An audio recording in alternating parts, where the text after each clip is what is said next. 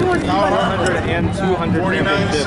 Tyrese, um, some of your thoughts on your performances this weekend? I don't think I did very well because the conditions out here, the wind conditions, but I'll get it next week. It's okay. I know, I'm sorry. How did, how did you feel on the 400? I mean, you, you looked like you were pretty strong and smooth. I know the time wasn't quite where you liked, but given the wind, were you satisfied with it, or you, was there something in terms of execution that didn't go quite like you And wanted? the, the jump threw me off when they jumped. That threw me off because I got out pretty good on that one.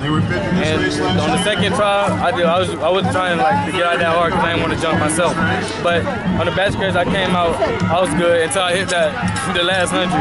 All the wind kept pushing, and I was like, oh. But it is what it is. I, I've been like practicing so hard to get on 44 that my coach told me not to really worry about the time because it's gonna come.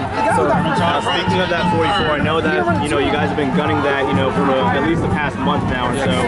Um, how has your training been um, you know oriented towards being able to perform at that level to be able to bust one out at a time? It's very, it's been very intense for like two weeks because I've been doing like repeat of 800s and all that. And like it's very hard. I think my legs kind of heavy though right now because all the training we've been doing. Right, and you know, especially with you being from Florida, Yeah. it's about six weeks after the state meet. You know, Yeah. most kids they had their state meet about like last week or two weeks Yeah. ago. So, you know, with you being tired, you know that is a bit understandable. And you mentioned that you're competing next week. At, for the seniors, not the juniors.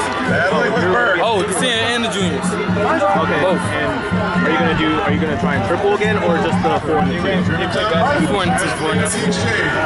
The, the, the four and the two for both seniors and juniors? or- Yes. Wow, that's a lot of racing. I know a lot, but I train for it, so I work hard for it. I bust my butt every week for it, every day. Tell us a little bit about the last 50 meters of that 200. It looked like you really dug deep to a new level, man. So- I mean, it really wiped you out. And uh, the and the 200 start, I was like, I'm very tired from the 400 because it was like back to back.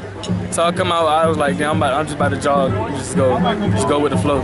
But some energy came in, in me at like the 100, and like it came in, I was like, oh snap! So I started pushing real hard, and I got him, but time still wasn't there. You and Anthony have developed a pretty good rivalry in the last couple years. Yeah. It seems like you don't get to race all the time, but as, you know, not every invitational necessarily. But I can tell you guys have a good camaraderie.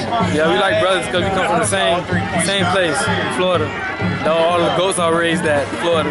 We come out, we compete like most of the time, but it's very fun competing with him. He always push me, I always push him. So yeah, You know, and good thing you still have Anthony for another year. You know, for you guys to you know go at it, especially in the 100 and 200. yes. Um, yeah.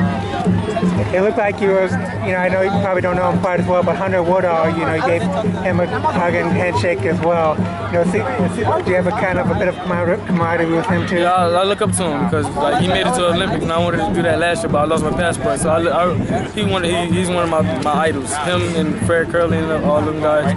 Like I really look up to them. Okay. I think one day pretty soon you're going to be as fast as Fred Kerley. Yeah, one day. I hope I get him a first round in the 400. See what he can do. All right. You should challenge him to a race. yeah. See what he says. Yeah, you might be racing that um seniors that I got next week, right? Let's go. Might. Yeah.